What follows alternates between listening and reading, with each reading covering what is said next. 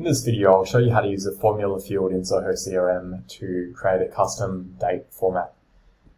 For example, we've got the created time field that will look something like this, but maybe we want it in a different format. If that's the case, what we can do is we can make a new formula field and then we can use various formula functions in order to shape it the way that we want it to look. The formula functions that we'll be using are concat, which adds two bits of text together. We'll be getting the month and the year. So basically, as you can see in this result here, we've combined the month slash and the year. What I'll do as a demonstration, I'll show you how to add the date as well. So we just copy this part here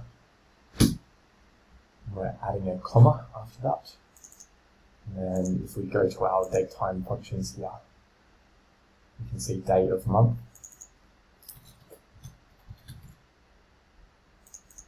Check that we've done it correctly. And if we save that, we now have any new records or any records that we edit, we should have the date in the new format. And I forgot to add a slash. Let's change that.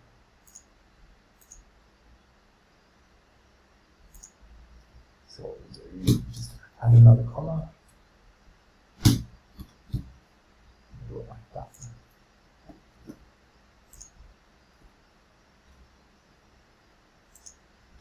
Apologies to anyone in the US. In Australia, we normally do day, month, year.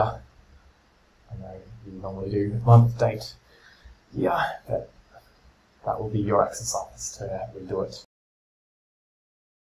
There you go, you can see that works. And if I wanted to, for example, use that in an SMS message, we'll see the difference if I use created time versus created time formatting.